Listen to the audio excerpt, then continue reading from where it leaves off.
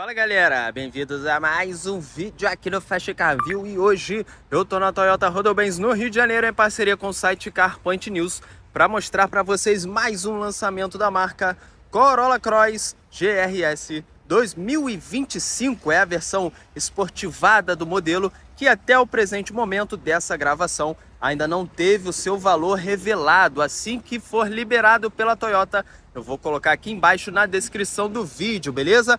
Meus amigos, quero que vocês opinem sobre esta versão. Eu, sinceramente, achei bastante simples para ter um apelo esportivo, né, conforme a marca diz. Mas enfim, é uma questão muito pessoal. Vamos conferir todas as novidades. Começando aqui pela frente, o desenho praticamente é o mesmo do GRS 2024. A grade toda em preto brilhante, não ressalta muito porque essa unidade está pintada de preto, né? Mas enfim, a principal novidade mesmo fica aqui no conjunto óptico, bem mais bonito.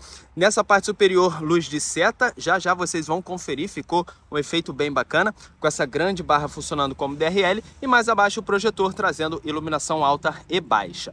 Aqui você repara farol auxiliar de neblina também nesta moldura em brilhante, com sensor de estacionamento. E aqui embaixo você vê aí o estilo mais esportivo nesse para-choque, né? Aqui no logo da Toyota fica o radar do piloto automático adaptativo. É um carro bem equipado nesse quesito segurança, com esse vinco muito marcante. E na lateral a gente tem um desenho um pouco mais agressivo também nessa roda, mesclando dois tons de acabamento, à medida do pneu 22550 Aro 18. Com essa moldura passando por cima, aqui embaixo a mesma coisa, e o logo GR aqui no paralama. Retrovisor na cor do carro com repetidor de seta, traz sensor de ponto cego, rebatimento elétrico e também a função tilt down. Sensor da chave presencial na maçaneta, coluna B e C nesse preto fosco, né? Nesse detalhe aqui, ó, com o nome Corolla Cross, antena estilo tubarão, esse REC de teto, seguindo essa pegada aí no brilhante. A roda traseira, infelizmente, não vem com freio a disco. Aliás, perdão, meus amigos, era outra coisa que eu ia falar. Ela não vem com a pinça em vermelho, né? Que eu acho que ficaria mais interessante, mas tem sim aqui o freio, logicamente, detalhes de acabamento para vocês conferirem. Eu tava com essa coisa de freio em vermelho na cabeça, então acabou que eu confundi ali. Mas o que, que vocês acham? Se fosse vermelho, ia dar um tchan a mais aí nessa versão, né? Ia combinar com esse logozinho, ia trazer um apelo mais esportivado, já que é a proposta dessa versão aí, conforme a Toyota diz. A lanterna mudou, praticamente é o mesmo tamanho, mas o que mudou mesmo foi a disposição de acendimento e esse grafismo aqui interno. Já já vocês vão ver, com essa pegada aqui ó, mais agressiva, né? Você repara essa pintura em brilhante também, ela é um pouco saltada para fora da carroceria. O logo GR Sport novamente, com o nome do carro pintado de preto, logo da Toyota, câmera traseira e assim como lá na frente, o para-choque também nessa parte aqui em preto brilhante com sensor de estacionamento e iluminação refletiva. E a grande polêmica permanece essa saída de escape bem grandona aparente, né? Brake light integrado, o aerofólio não é muito pronunciado, acho que merecia uma coisa mais agressiva, chamativa, né?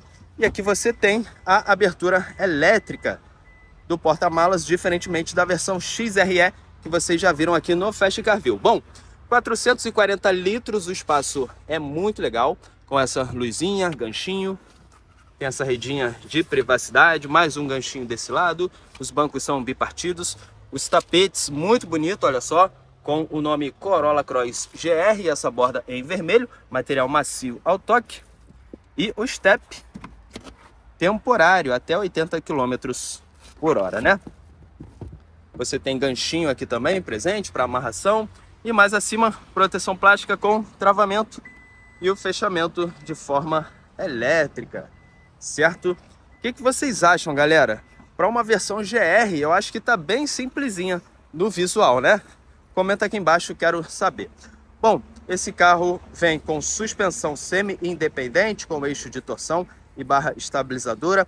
O ângulo de saída 36 graus, aqui na frente 21 graus. E as medidas dele são as seguintes. Temos 4,46 metros de comprimento, 1,62 de altura, 1,82 de largura, 2,64 de entre-eixos e altura do solo 16,1 centímetros, certo? Vamos ver agora detalhes internos. Será que mudou? Bom, o acabamento eu gosto. Aqui em cima material soft, com essa costura em vermelho, maçaneta porém em plástico. E aqui você tem material macio também em couro, com preto brilhante, rebatimento do retrovisor, ajuste dos vidros. Temos aqui saída de som, porta-garrafas, porta-objetos, plástico duro. Não tem soleira, acho que merecia, né? Afinal de contas é uma versão diferente.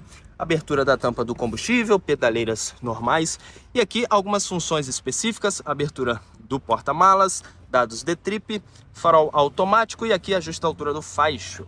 O banco é bem legal, isso sim faz jus a essa versão mais esportivada, né? Com Alcântara aqui no centro. Galera, é Alcântara ou Alcantara? Muita gente me corrige quando eu falo de um jeito, do outro jeito também. Enfim, abas pronunciadas com o logo GR estampado aqui e costura em vermelho. Ajuste elétrico de profundidade, inclinação. Já temos sete airbags. E o cockpit a gente já conhece das outras versões. Volante forrado em couro com esse vermelho novamente logo da Toyota, configuração do painel e multimídia. E aqui tudo referente a piloto automático adaptativo, tem também aqui auxílio de faixa e o controle de distância do carro da frente, pedal shifts, haste de seta, com acendimento automático e aqui limpador dos para-brisas com a função intermitente também automática.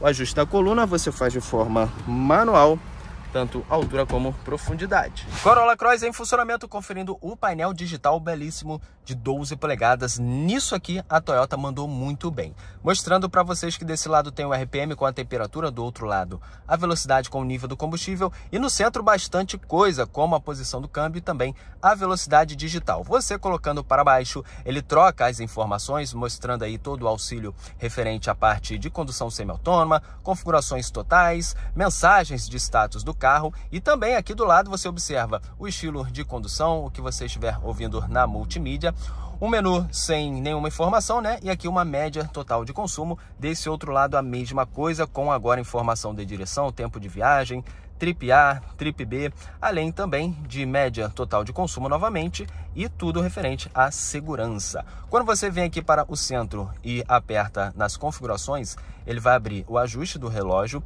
brilho do painel, auxílio de faixa, tem também aqui o sensor de ponto cego, alerta de colisão, tudo de segurança e configurações do veículo, aqui para você configurar a abertura da tampa do porta-malas e idioma, unidades tipo do medidor. Tem esse duplo, esse aqui focado no RPM, legal, e esse aqui com uma pegada mais minimalista, né? Além disso, você tem a possibilidade de trocar o estilo do medidor. Estamos no esportivo, ele traz também o robusto, o inteligente, legal, e esse aqui casual. Ficou bacana, né?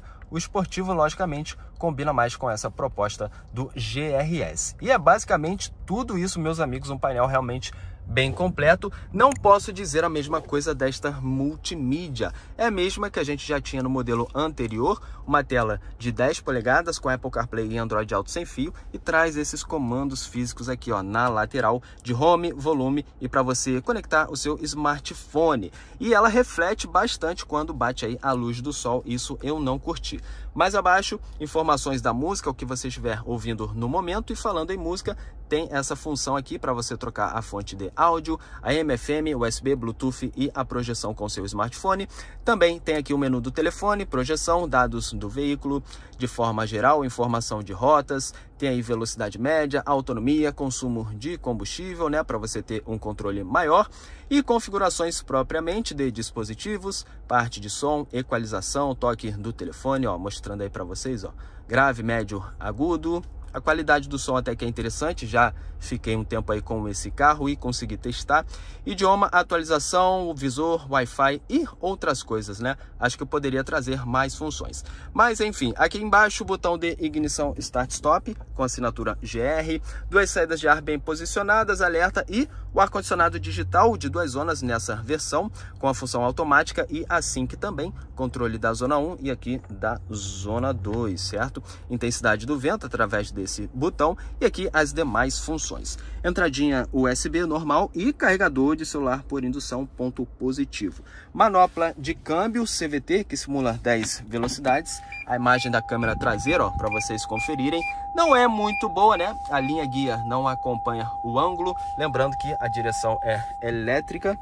Ele traz essa posição sequencial também para você passar as marchas colocando para cima ou para baixo. Isso aqui eu gostei bastante. Tem o modo Power, né? Mais esportivo. Olha essa animação, galera. Que espetáculo, né? Traz aí também o normal e o Power. Somente esses dois, diferentemente da versão XRX híbrida com essa manoplinha forrada em couro, costura em vermelho e tem aqui o controle de tração e estabilidade também. Bastante preto brilhante e a maior novidade dessa linha 25 até que enfim, hein? Freio de estacionamento eletrônico, bacana, com a função auto hold. E tem isso aqui também, né, que eu já tinha comentado para vocês, ó. A função tilt down ali no retrovisor. Dois porta-copos, a chave do modelo com abertura e fechamento das portas e também do porta-malas e aqui acionamento da buzina GR presente. O de braço vai para frente e para trás, forrado em couro. E o espacinho aqui razoável, não é fundo, com uma tomadinha 12 volts. Porta-luvas, compartimento razoável também. Não estou vendo luzinha, pelo menos aparentemente retrovisor eletrocrômico, bacana, com a luz da cabine aqui, ó, amarelinha. E temos teto solar nesta versão, muito bom. Com aqui, ó, a redinha trazendo abertura manual, o teto propriamente com essa abertura aí elétrica, né?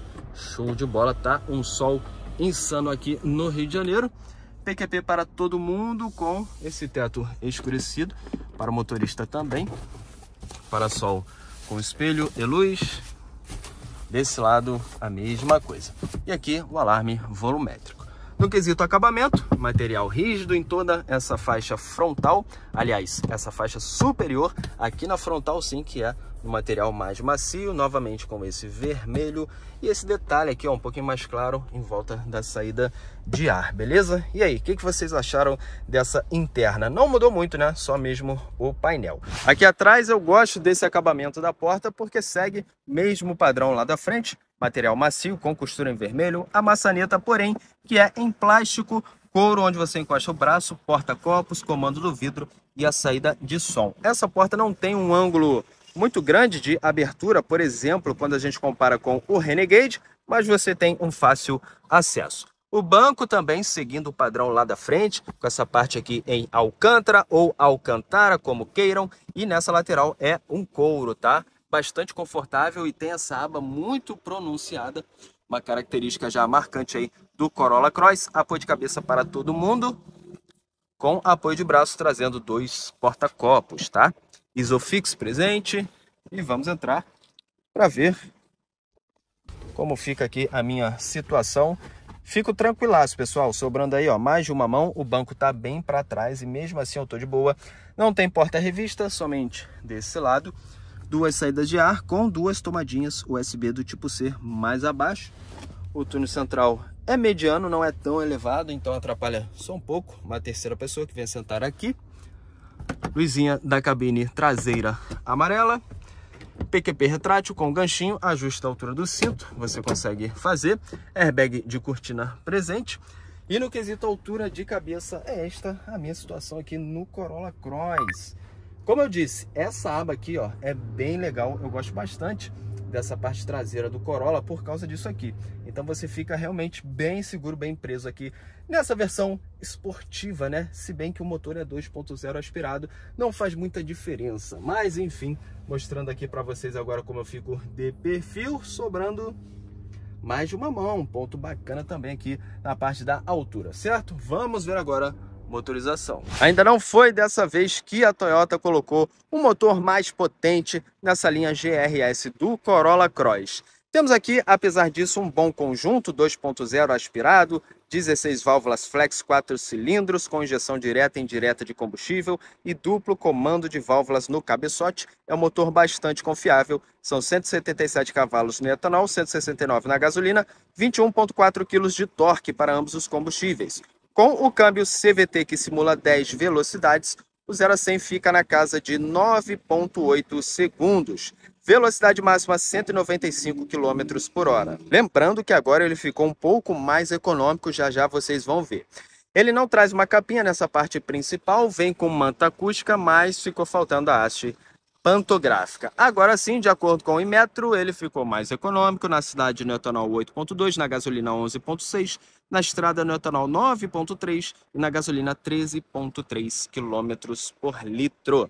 E aí, Vale a pena ou não vale? Mais informações vou deixar na descrição. E agora toda a iluminação do GR 2025, meus amigos, ficou um luxo essa frente com esse conjunto óptico, hein? Olha só que bacana na parte superior, nesses quatro pontos aí, iluminação de seta dinâmica nessa grande barra funcionando DRL e mais abaixo no projetor iluminação alta e baixa. Farol de neblina também branquinho, repetidor de seta no retrovisor. E aproveitando que eu estou desse lado, não temos ajuste elétrico para o banco do passageiro, tá? Somente esse aqui de inclinação. E a traseira com nova disposição de acendimento. O que mudou mesmo foi só aqui embaixo, né? Luz de seta halógena, de ré também. E aqui uma luz de posição em LED com essa cavidade bem marcante. A placa na cor amarela e desse lado fica lanterna de neblina. E na parte de segurança, essa versão já é bem completa, trazendo o Toyota Safety Sense com piloto automático adaptativo, assistente pré-colisão com frenagem autônoma de emergência, com detecção de carro, pedestre e ciclista, farol alto automático, alerta e assistente de mudança de faixa, com controle de direção. Temos também assistente de rampa, controle de tração e estabilidade além dos sete airbags, beleza? Então é praticamente isso, meus amigos. O que, que vocês acharam dessas mudanças um pouco discretas, né? Aqui na versão GR 2025 do Corolla. Vale a pena? Então tá aí, pessoal. O vídeo de hoje foi esse, Corolla Cross GRS 2025. Ainda não temos todas as informações desse lançamento. Assim que for lançado oficialmente, vou fazer um vídeo mais completo para deixar tudo certinho para vocês, beleza? Um grande abraço. Se você gostou, deixa o like, se inscreva no canal e até a próxima.